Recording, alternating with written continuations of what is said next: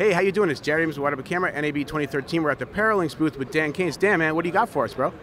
Hi, uh, we're here at the Small HD and Paralinx booth at NAB 2013. We've got the Paralinx Arrow wireless, uncompressed, real-time HD transmitter and receiver. How much is that going to cost and when's it available? Uh, it's available now.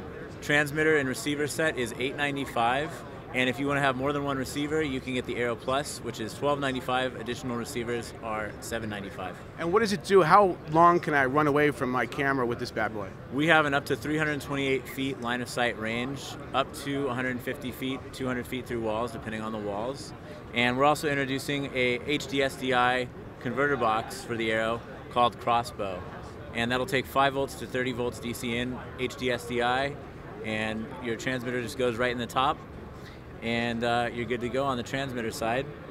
And we've also got a new receiver called Paralinx Tomahawk, and this has up to 1,200 feet range. Uh, price to be announced, release date this summer. Cool. And what kind of delay would I experience? Would I be able to pull focus with this system? Absolutely, less than one millisecond latency, so really way less than a frame. Cool, man. Thanks a lot. Really appreciate it, Dan.